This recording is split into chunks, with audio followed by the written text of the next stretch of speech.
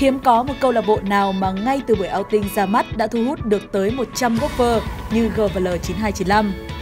Sự kiện diễn ra vào ngày 18 tháng 11 năm 2017 tại sân golf Yên Dũng, tỉnh Bắc Giang và trở thành dấu mốc đáng nhớ cho sự phát triển của một trong những câu lạc bộ đồng niên đầu tiên trong làng golf Việt. Sau gần 3 năm, số lượng thành viên câu lạc bộ ổn định luôn giữ ở mức trên dưới 100 người. Có những thành viên ở xa nhưng vẫn nhất định xin được đứng trong hàng ngũ của câu lạc bộ. Tôi làm việc thì ở trong thành phố Hồ Chí Minh. Nhưng à, trong tất cả các mùa giao tinh, ao tinh của câu lạc bộ tôi đều cố gắng sắp xếp thời gian của để ra đây tham gia. Và tôi thực sự tiếc nếu như không tham gia được bất kể một buổi outing nào. Golfer nào cũng vậy, à, tham gia rất nhiều các câu lạc bộ. Tôi cũng vậy, tham gia nhiều câu lạc bộ nhưng mà tôi à, dành phần lớn thời gian cho câu lạc bộ GL9295 này bởi vì ở đây tôi có những người bạn rất là thân cùng lứa tuổi và khi lên sân mình được là chính mình. À, có niềm vui nỗi buồn và có rất nhiều những cái chia sẻ không những ở trên trong thể thao mà trong cả công việc và cuộc sống nữa. Có được sức hút như vậy, bởi lẽ các cựu học sinh trung học phổ thông niên khóa 1992, 1995 đã tìm được một tiếng nói chung, một sự đồng điệu trong tình yêu gôn khi tham gia câu lạc bộ. Ngay từ khi ra đời, câu lạc bộ đã xây dựng được một hệ thống giải đấu áp dụng cách tính điểm giống như PGA Tour. Hàng tháng, câu lạc bộ đều tổ chức các buổi outing, xen kẽ là các giải major và giải tổng kết cuối năm. Hai chiếc cúp danh giá nhất là cúp G, tức cúp gậy dành cho các golfer có handicap từ 0 đến 18 và cúp L, tức cúp lỗ dành cho các golfer có handicap từ 19 trở lên, được trao cho hai golfer có tổng điểm tốt nhất của năm.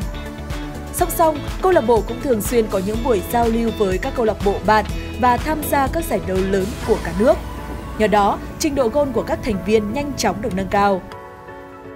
Năm 2018 là một năm đáng nhớ khi G và L9295 giành cú đúp vô địch các câu lạc bộ Hà Nội và toàn quốc, đồng thời đạt danh hiệu câu lạc bộ xuất sắc nhất năm do VJ trao tặng.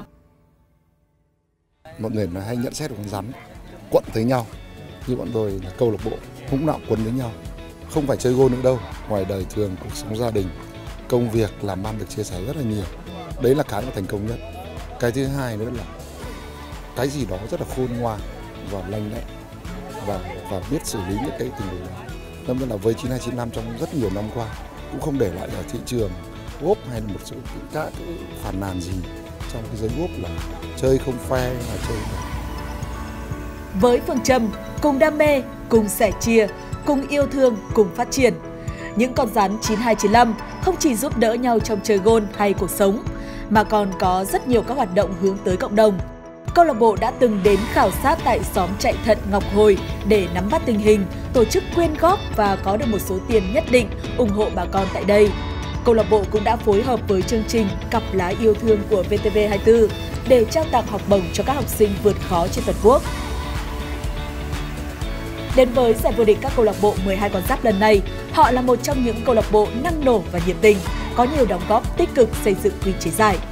Chúng tôi xác định đây là một cái sân chơi để anh em à, trong câu lạc bộ có, và đội tuyển có cơ hội để, để thi đấu và cọ sát và cũng như giao lưu với các các câu lạc bộ bạn à, kết bạn được à, nhiều hơn thì chúng tôi đến đây cũng chỉ thi đấu để cho nó có thêm kinh nghiệm thôi chứ cũng không có một cái áp lực gì cả. Dù người đứng đầu đội tuyển luôn khẳng định họ đến với giải 12 con giáp hoàn toàn vô tư, không đặt nặng thành tích. Thế nhưng, đối với 11 câu lạc bộ còn lại, GVL 9295 vẫn là một cái tên phải dè chừng và kiên nể, bởi đây đã là một thương hiệu trong cộng đồng côn Việt.